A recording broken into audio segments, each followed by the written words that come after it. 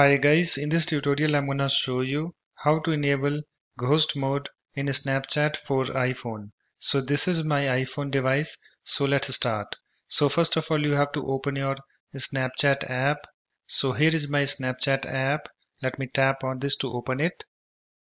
You can see guys it's opened and you can see I'm already logged into my Snapchat account. If you haven't, just log in. And after that you have to tap on your profile picture at the top left. So let me tap on this. And after that, you have to tap on this gear icon, this settings at the top right. And you can see guys, here I have this settings, uh, this screen opened. And on this screen, you have to scroll down to who can section. So let me go to that. So here I have this who can, uh, this section. And in this section, you have to tap on this see my location. So let me tap on this. And I have this screen opened. And you can see guys here we have this ghost mode this option.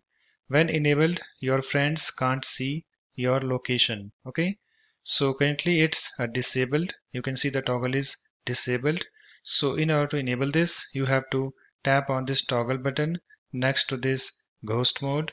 And you have to move this slider to the right so let me tap on this. And I have this pop-up. Enable ghost mode. Uh, choose a duration. So here we have three options. 3 hours 24 hours and until turned off. So just go to the option that you want and then tap on it to select it. So I want this option that is uh, until turned off. So let me tap on this.